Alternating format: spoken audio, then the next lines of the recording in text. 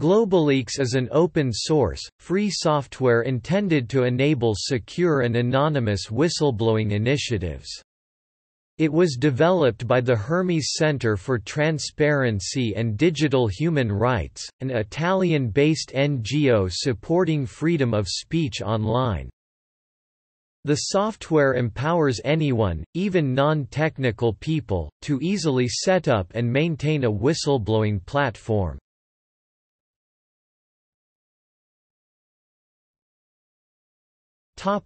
History The project concept was initiated by Fabio Pietrosanti and shared for the first time within the hacktivist community on 15 December 2010. Relevant figures in the first development are Claudio Agosti, Arturo Filastò, Michele Orrù, and Giovanni Pellerano. The first prototype was announced on 6 September 2011 on the Full Disclosure mailing list. Asked by an interviewer on how the GlobaLeaks project began, Filastò explained, After the whole WikiLeaks Cablegate drama we decided to work on this. The idea for GlobaLeaks was born from the realization of a need for journalists to ensure the confidentiality of their sources despite an insecure network. It is designed to be used by journalists who do not have advanced computer skills but who need a secure platform to protect their sources. The software enables journalists and their sources to communicate securely, allowing a continuous flow of data among individuals with complete security. It also enables journalists to verify sources by requesting various kinds of data and documents.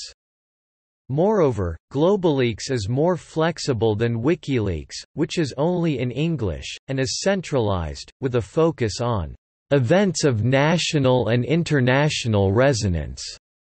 GlobaLeaks, by contrast, allows you to communicate in the language of users and is open to local issues with an impact on everyday life. Filastò and his partners noted that most leak sites had poor security, with the vulnerabilities of the Wall Street Journal's whistleblowing Dropbox Safehouse, for instance, being exposed only hours after it went online. Filastò commented that, "...we saw that there is a user base but the developers were doing it wrong. We said, we are security people, we can do this better." So two years ago we came up with an advanced prototype, GlobaLeaks 0.1. It was an initial experiment but it went quite well. We then redid it from scratch and we're now at version 2.24. In 2011, Tor 2 Web, Tor Hidden Service Proxy designed by Aaron Swartz and Virgil Griffith, became part of the GlobaLeaks project as a component intended for extending platforms' reachability to traditional HTTPS connections. In 2012, the Hermes Center for Transparency and Digital Human Rights NGO was founded in Italy.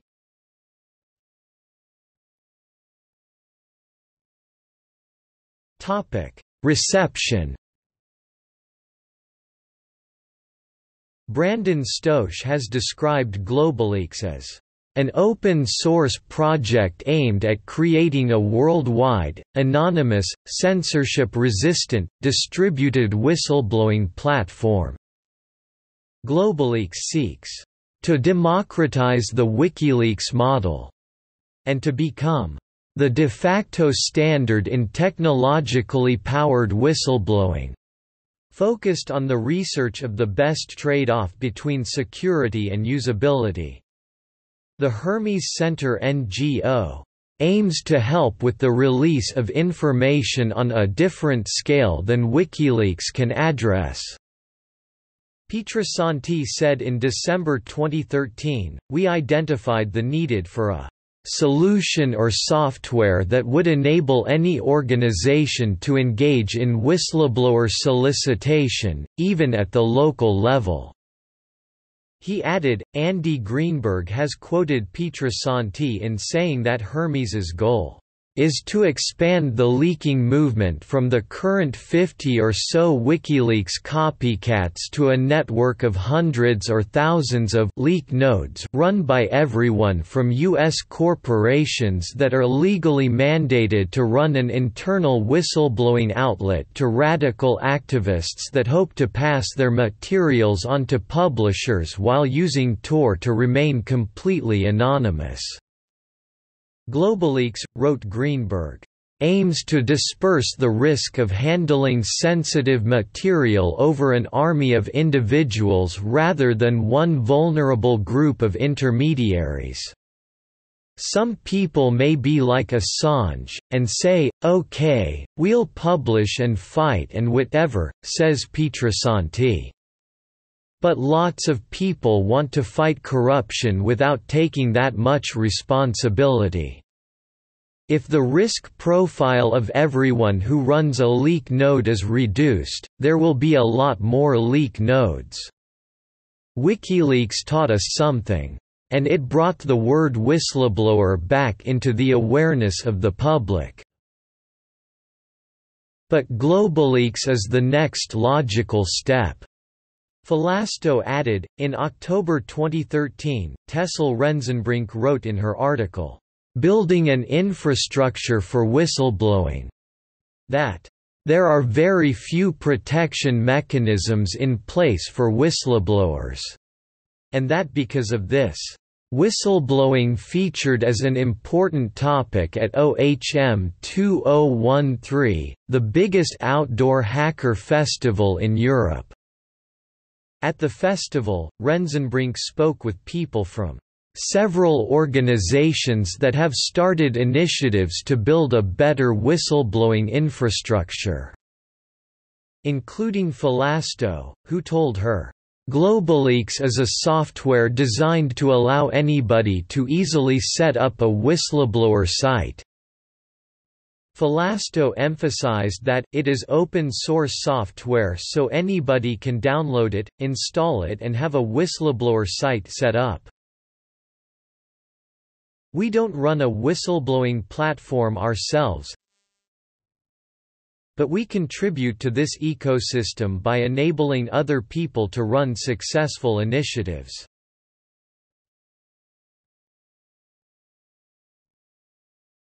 Topic: Operation A GlobaLeaks site utilizes Tor hidden services in order to guarantee the anonymity of the source. Once the submission is performed on a GlobaLeaks platform, the data is encrypted using PGP and the system automatically notifies registered recipients e.g., local media, NGOs, or even single journalists.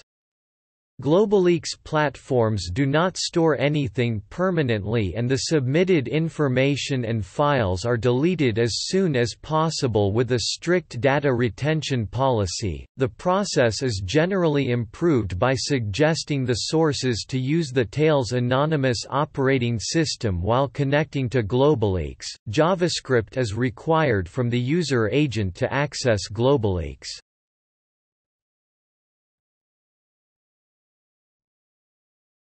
Topic: Implementations. By 2017, GlobaLeaks has been internationalized in 20-plus languages and implemented by more than 60 projects and initiatives all over the world. The vast range of adopters include independent media, activists, media agencies, corporations and more. Describing the early deployments, Wired reporter John Borland, GlobaLeaks had been deployed around Europe, by independent journalism and activist groups in Serbia, investigative journalism organizations in Hungary and Italy, and an anti-mafia group in Italy." Borland noted that A GlobaLeaks-powered whistleblowing site in Iceland, called Ljost, today the 30th of December 2013 released new documents on that country's 2008 financial collapse.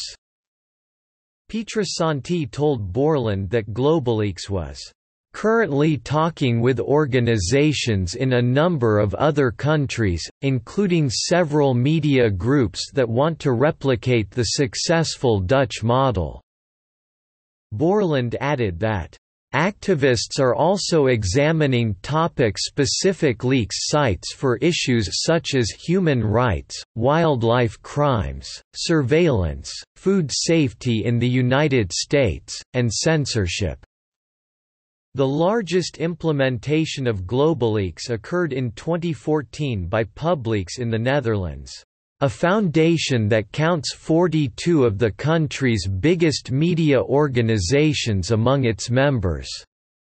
There, each organization pays €500 Euros per year, and in return receives a special laptop designed to access the leak system.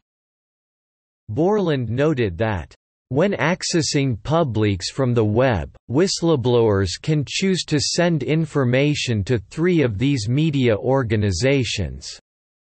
All participating organizations agree to honor embargo periods, enabling information to be examined without immediate publication pressure. The group has already had several high-profile leaks, including one that led to the resignation of a prominent parliamentarian. Other major organizations supporting the setup of GlobaLeaks-based whistleblowing platforms are Free Press Unlimited (FPU) and Associated Whistleblowing Press (AWP). FPU, a Netherlands-based organization, created Afrileaks and Mexicoleaks. Afrileaks was GlobaLeaks' first project outside the Western world run by an alliance of 15-plus African news organizations that are committed to speaking truth to power. Whistleblowing is an important instrument that should be used carefully, so future training is now being planned and will continue to take place regularly," said Pellerano to The Guardian. As for Mexicoleaks, it is an active independent whistleblowing platform aimed at revealing information for the public interest in Mexico which was awarded the 2016 Frida Award. AWP, a Belgium-based organization, created Ljost Iceland, Filtrala Spain, Ecuador Transparent Ecuador, and Peruleaks Peru. AWP co-founder Pedro Noel describes AWP as a non-profit organization which struggles for freedom of expression and against human rights violations by means of whistleblowing.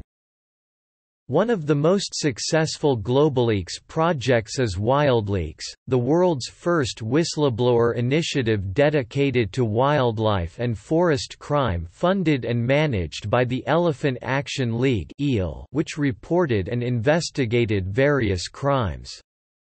One of the investigations was highlighted in the award-winning Netflix documentary, The Ivory Game, GlobaLeaks also partnered with major anti-corruption and human rights NGOs like Transparency International Alerta Anticorruzione, OCCRP, and Amnesty International AMLI. In 2017, XNet, an activist project which has been working on and for networked democracy and digital rights since 2008, launched in the Barcelona City Hall the first public anti-corruption complaint box using anonymity protection technology like Tor and GlobaLeaks.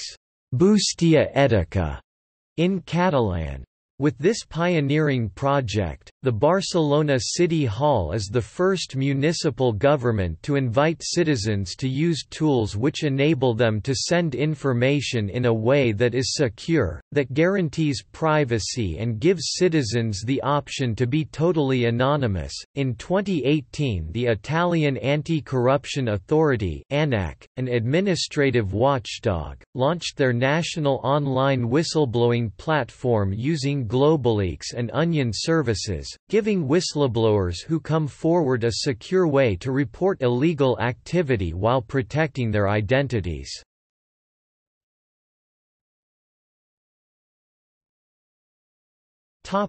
Funding In 2011, GlobaLeaks 0.1 received funding from USAID Serbia. In 2012, GlobaLeaks 2.0 had been funded with $108,400 by the Open Technology Fund under the Freedom to Connect program. In 2013, the project was able to survive with few donations and a lot of volunteer work done by its core members.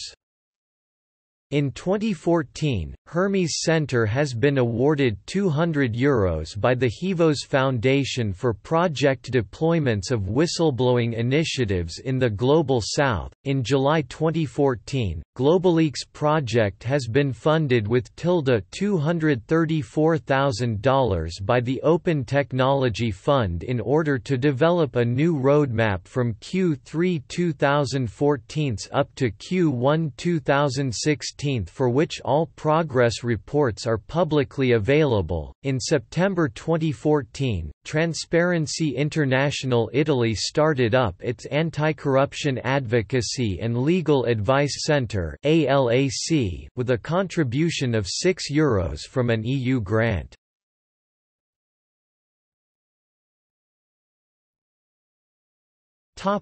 See also Whistleblowing Associated Whistleblowing Press Tor Anonymity Network Pretty Good Privacy Tails operating system SecureDrop